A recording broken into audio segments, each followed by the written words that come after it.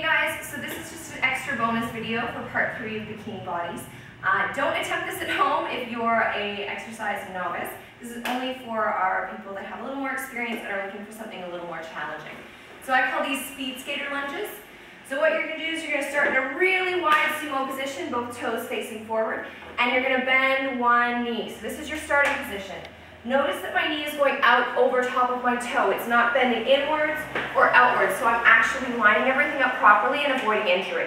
So what I'm going to do, I've got the one knee bent, I'm going to press off with that leg, using my abdominals to catch myself midair, and then fall back down, deep into that lunge.